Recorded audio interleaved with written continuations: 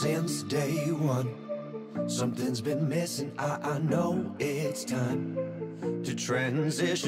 Bonjour à tous, ici Dingo Dorwan. Aujourd'hui, en collaboration avec la société Rouvi, on va vous offrir un capteur qui donnera plusieurs indications, la température, le taux d'humidité, la pression atmosphérique et fait aussi capteur, moi je dirais plus de déplacement, hein, on dit capteur de mouvement, mais un capteur de déplacement puisque euh, dès qu'on va le bouger, il nous indiquera, euh, il nous enverra une notification comme quoi le capteur a été déplacé. Ce capteur-là vous sera offert donc euh, grâce à, à moi et à Rouvi bien sûr, donc la société Rouvi, une société finlandaise. Euh, ça s'écrit avec deux U, mais ça se prononce Rouvi. Le concours débutera quand sortira ma vidéo ici, donc le dimanche 4 avril 2021, donc à 8h départ à 8h du matin. Et la fin du concours sera le vendredi 16 avril 2021 à minuit. Donc je clôture les inscriptions. Pour vous inscrire, c'est très simple. Il faudra juste poster un commentaire en bas de cette vidéo.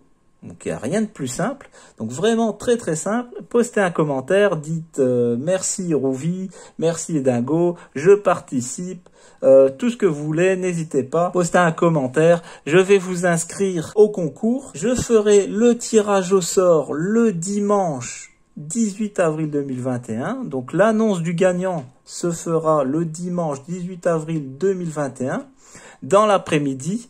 Le 18 avril sortira ma vidéo de présentation, ma vidéo de test de ce capteur de température. Donc n'hésitez pas à la regarder. Hein. Tous les dimanches, je fais une vidéo à 8h du matin.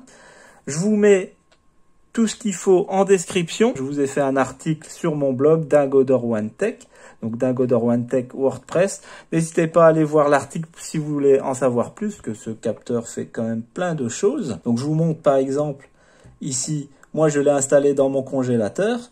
Hein, euh, je l'ai collé sur la porte comme ça un congélateur bahut. J'ouvre euh, quand j'ouvre le, congélateur, grâce à son gyroscope donc trois axes, je peux savoir que si quelqu'un a ouvert la porte et euh, je peux voir aussi les mouvements de température aussi grâce au graphique qui m'indiquera sur trois jours l'évolution donc c'est quand même sympa. Vous pouvez l'utiliser dans plein de domaines, dans plein de choses. Donc c'est vraiment un bon capteur de température qui est étanche. Donc vous pouvez l'installer sans problème à l'extérieur, sans qu'il va s'abîmer. Donc il résiste à de fortes températures. Donc moi je vais m'arrêter là pour les infos. Allez lire mon article sur le blog, vous allez avoir toutes les infos qu'il faut. Comme d'habitude, je remercie les anciens d'avoir regardé et les nouveaux de vous abonner. Un grand merci à vous. Moi, je vous dis à la semaine prochaine et bonne chance à tous.